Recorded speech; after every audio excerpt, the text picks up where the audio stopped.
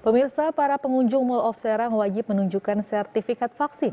Selain itu, semua pengunjung diperiksa petugas keamanan sesuai protokol kesehatan guna menghindari penyebaran virus corona.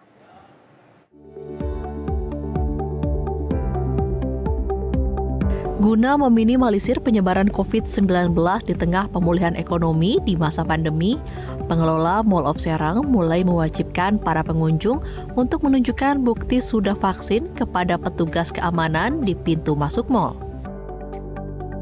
Pengelola Mall of Serang akan memeriksa para pengunjung yang datang Pengunjung yang tidak membawa sertifikat vaksin bisa gunakan aplikasi Peduli Lindungi, kemudian men-scan barcode yang terpampang di pintu masuk mall.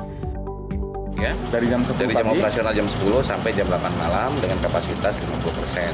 Nah, tentunya ada ada persyaratan yang dipersyaratkan untuk orang yang akan masuk ke, ke mall tersebut, di mana di regulasi itu mempersyaratkan bahwa eh, pengunjung pusat perbelanjaan itu telah menerima vaksin minimal vaksin pertama kemudian menunjukkan eh, sertifikat vaksin yang di cross check dengan aplikasi peduli lindungi dari eh, kementerian dari pusat.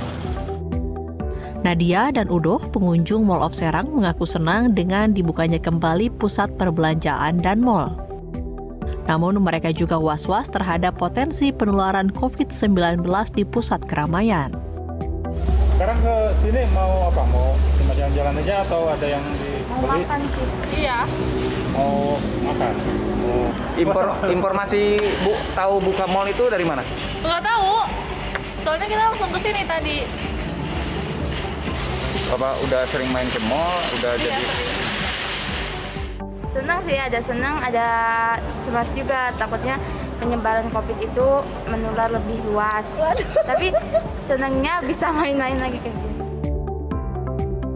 Selain pengunjung yang tidak bisa memperlihatkan sertifikat vaksin, pengelola Mall of Serang juga akan menolak pengunjung berusia di bawah 12 tahun.